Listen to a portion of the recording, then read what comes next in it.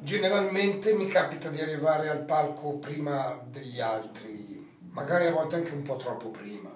Può sembrare ridicolo, però è un, probabilmente un modo anche per cominciare a ragionare. Non mi piace stare a casa a pensarci, preferisco pensarci quando sono vicino al palco e da lì comincio a capire che tipo di, di, serata sarà, se c'è qualcosa da dire, oppure anche semplicemente mi metto a fare cose del tutto idiote, tipo ascoltare musica progressive degli anni 70, che non serve a niente per il concerto, però è un modo anche quello per, così, per perdersi, disperdersi e alla fine ritrovarsi, capito?